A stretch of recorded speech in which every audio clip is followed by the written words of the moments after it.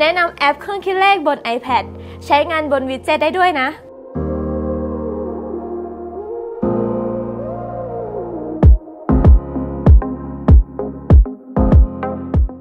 ทำไม iPad ถึงไม่มีเครื่องคิดเลข นับว่าเป็นคำถามยอดฮิตนะคะ ที่หลายๆ คนสงสัย ซึ่ง Apple เขานะคะก็ได้ออกมาให้เหตุผลที่ว่า เขาอยากจะออกแบบเครื่องคิดเลขสำหรับ iPad ให้ดีที่สุดค่ะ ซึ่งตอนนี้นะคะเขาก็ยังไม่พอใจค่ะ เราก็เลยยังไม่เห็นเครื่องคิดเลขบน iPad ตอนนี้นะคะ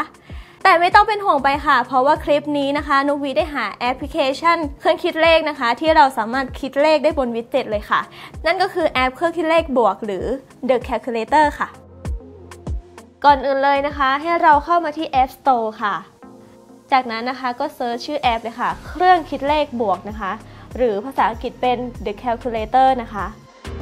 นี่ค่ะก็จะเป็นแอปตัวนี้นะคะ เครื่องคิดเลขที่มีบวกอยู่ข้างบนตรงนี้นะคะ กดดาวน์โหลดเลยค่ะ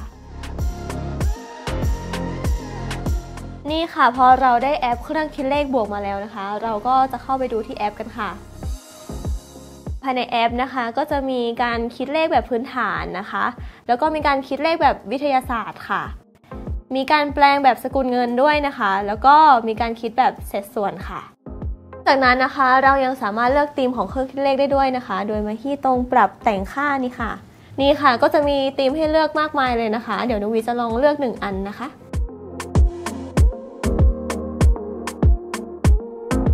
เครื่องคิดเลขของเรานะคะ ก็จะเปลี่ยนไปตามธีมที่เราเลือกเลยค่ะ น่ารักมากๆเลยค่ะ โดยจุดเด่นของแอปนี้เลยนะคะ ที่นุกวิอยากจะนำเสนอก็คือเขาสามารถเพิ่มไปตรงที่หน้าวิดเจ็ตได้ด้วยค่ะ เราปัดตรงข้างแบบนี้นะคะ เพื่อเรียกวิดเจ็ตค่ะ จากนั้นนะคะ กดแก้ไขค่ะ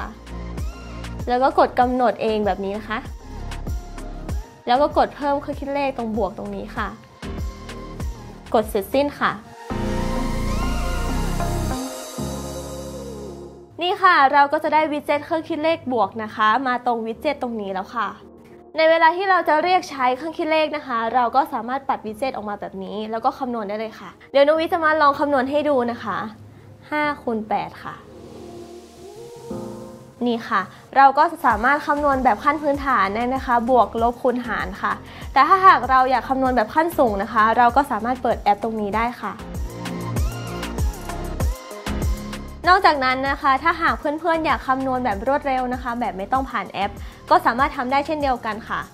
โดยการที่เรานะคะใช้นิ้วลากลงมาแบบนี้ค่ะ ก็จะเจอช่องค้นหานะคะ แล้วเราก็พิมพ์เลขที่เราต้องการคำนวณไปค่ะ นี่ค่ะก็จะคำนวณแบบพื้นฐานได้เช่นเดียวกันค่ะ และนี่นะคะก็เป็นแอปเครื่องคิดเลขดีๆ ที่นุวิทย์ได้มาแชร์ให้ทราบกันนะคะ ถ้าหากเพื่อนๆนะคะ มีแอปอื่นๆ ที่น่าสนใจก็สามารถคอมเมนต์ใต้คลิปได้เลยค่ะ